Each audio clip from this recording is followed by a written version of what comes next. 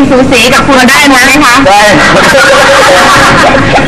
เพลงนี่เพลงเพลงชุดใหม่ร้องได้ยังคะคุณพ่อคะเออเพลงชุดใหม่ตอนนี้เรากำลังซุ่มซ้อมซุ่มซ้อม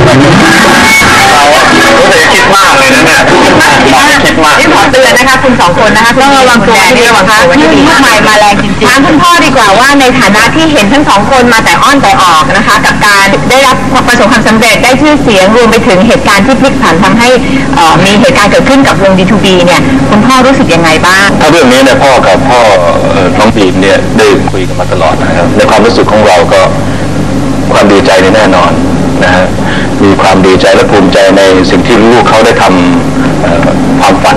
นะได้ทำสิ่งที่ตั้งใจไว้ แล้วก็ดูว่าเขาพยายามทำอย่างดีที่สุด ดูจากความทุ่มเท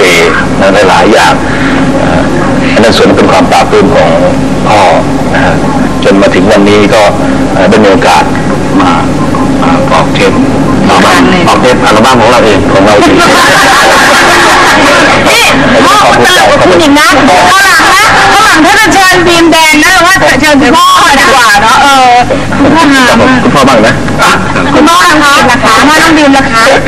แหมเหมือนที่อาจารย์พูดเปี้ยเลยครับเออความจริงผู้ใหญ่เขาลอกกันเห็นเห็นๆก็ดูดีนะเขาลอกประกอบกันก็ดูดีนะคุณนะคุณพ่อภูมิใจกับกับน้องบีมไหมคะก็ดีฮะดูเขาแบบว่าเขามีมีการอะไรของเขาอ่าพัฒนาการพัฒนาการใช่ใช่ใช่อย่างเงี้ย ก็เรียกไม่ค่อยถูกอะอ้อมพี่อายครับแต่อันนี้ไม่แน่ใจอะนะคะว่าขี้อายหรือเปล่าแต่ที่แน่ๆคุณพ่อถูกใจชุดวันนี้มาก